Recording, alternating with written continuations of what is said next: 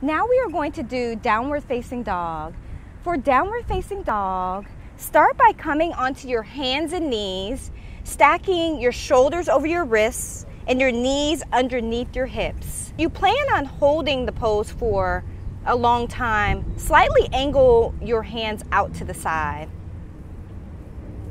From this position, walk your hands two to three inches forward, maintaining the same position, but lengthening the stance of your table. Press the roots of your fingers into the mat.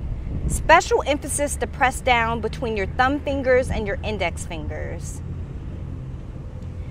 From here, inhale, drop your belly, squeezing your shoulder blades together. Exhale, tuck your toes under, lift your hips up and back while pressing your hands down and forward. Keep your knees bent for now. To bring the shoulders into alignment, bend your elbows out to the side, roll them in toward each other, and slowly start to straighten your arms, keeping a micro bend in the elbows to prevent from hyperextending. Feel the space created in your upper back. To bring your lower body into alignment, with your knees bent, tilt your pelvis forward, meaning imagine that you have a dog tail and you're lifting it up toward the sky. Maintaining that forward tilt in your pelvis, slowly start to straighten your legs any amount. Gently pull your low belly in to reduce any arch in your back and gaze toward your navel.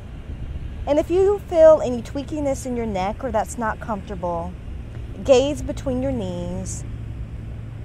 Staying active in the pose, pressing your hands down and forward as you tilt the pelvis forward. Breathe deeply and explore how it feels to be in this pose.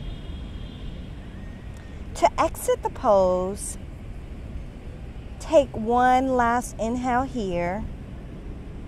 And at the bottom of your exhale, lower your knees down to the mat, coming completely out and releasing.